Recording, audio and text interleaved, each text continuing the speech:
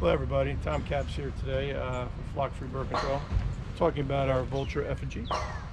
Uh, did you know that vultures count for 10% of all baby calves lost to predators? They also do damage to rooftops, car uh, moldings. Uh, they just wreak havoc around buildings. They get into dumpsters and make a mess. And the hardest part is that they are a protected species.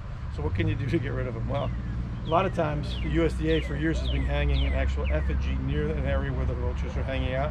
The effigy represents a danger. A lot of times that's enough to get them to leave. We, well, our effigy actually has bendable arms so you can lay it down, you can hang it. It's got a heavy duty hanger on it. We add some UV paint clear to the wings before we ship them out to make it more realistic. And uh, we actually even use this in combination with our tank mix product to move vultures. That's how we do it.